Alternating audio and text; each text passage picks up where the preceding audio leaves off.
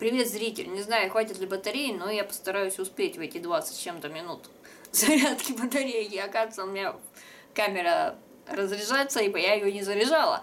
В общем, сегодня пятый день эксперимента. Три дня я ничего не тратила, но сегодня мне моя тетя принесла пол тыквы. А пол тыквы, ну вообще тыкву лучше делать э, с, пшен, с, пшено, фу, с пшеном, которое у меня по ходу дела все-таки нет, ибо я что-то не помню, чтобы я его находила. И, наверное, у меня которое было, я его, наверное, уже съела. Короче, и молоком. А молоко у меня закончилось. Ну и я пошла в магазин. Я пошла в магазин. Мне сказали, что с такой сумочкой, как мне подарила Вика, К, уже не ходят, ибо сейчас уже не летом. И у нас вроде как снег, дождь и вообще типа, что за погода, она станет мокрая. Надо вот что-то по типу такого. В магазине по типу такого был только с Новым годом. И когда там на кассе моя тетя спросила, вот у меня, говорит, такой пакет, вот по типу такого. Я ей, говорит, просто плотный, с ручками. Думаю, с ручками у меня дома есть.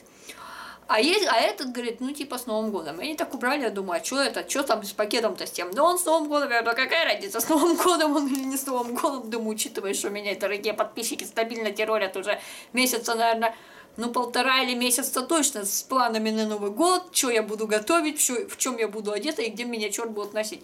Короче, чек не знает, тут у меня, не тут. Покупка у меня вышла на 205 рублей с копейками. Это значит, у меня там оставалось, а как бы на все про все 951 э, рубль, и вот оттуда мы это все вычитаем. Я купил себе бананов, ну как бы фрукты, надо же есть, там уже они были зеленые. Ну, на самом деле, знаете, такое ощущение было, как бы заходишь в магазин, ну ничего не надо, ничего не хочешь, ну вроде как тетя там по телефону ей кто-то вечно названивал. Она говорила, что она купила апельсинов, каких-то фруктов. Я думаю, надо, наверное, мне тоже купить. Но думаю, раз уж пришла в магазин. В общем, зеленые бананы. Три штука. Мне потом сказали, что бананы еще это как бы дело. А вот то, что я купила виноград, вообще как бы не еда. И вот не еда виноград. Я такой уже покупала, он когда-то был по скидке, не знаю сейчас почем он идет. Он сладкий, но с костями. Виноград. Так, у меня тут еще немножко, наверное, видно, а нет, не видно. Ноутбук, короче, слева по борту у меня. Вот я руку держу, у меня рядом ноутбук. Я на нем там перевод переводила. Что-то меня так затянуло. Ну, в общем, перевод сейчас не от этом, потому что у нас как бы время ограничено, ибо зарядки мало. В общем, все вышло у меня на 205 рублей и 42 копейки. А, пакет стоит 19,90, молоко, которое я потом достану, 36,90, пшено 39,90, а, шоколад Аленка 49,90, потому что был по скидке. Моя тетя взяла молочный, я его взяла с фундуком, но я покажу его. Мне как бы его не надо. Я вроде как Аленку средней паршивости, ну то люблю, то не люблю, но вроде как-то это. Ну, в общем, купила я, пусть, думаю, будет. Так кто-нибудь в гости придет, а у меня и чаю-то особо нечем попить, кроме меда и варенья. Мне-то как-то пофиг, но гостей-то надо чем-то угощать. Короче, виноград розовый а, кстати, он все еще по скидке, он даже дешевле, чем э, тогда его покупал. Тогда его по скидке брала за 85, что ли, а сейчас он по 79,90 килограмм. Короче, 22,37. Мне виноград вышел 22 рубля 37 копеек.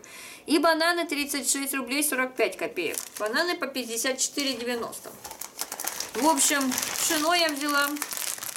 Обычное 800 грамм. Крупа пшено шлифованная. 9 месяцев оно живет. Сделано оно у нас э, 24 октября. Ну, вообще у меня как-то было куплено пшено в пакетиках для варки, крупнее намного.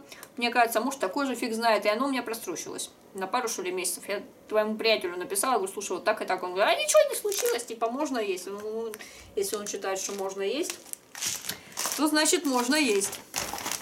В общем, вот а шоколадка Аленка. Аленка молочный шоколад с фундуком.